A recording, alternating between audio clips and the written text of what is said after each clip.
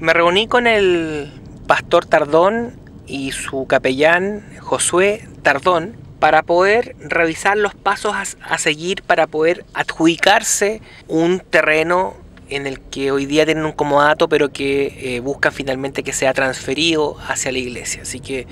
revisamos cuáles eran las opciones para ello y vamos a seguir en contacto para que Dios quiera se pueda materializar este anhelo que le permita potenciar su ayuda a la comunidad que como iglesia cristiana realizan.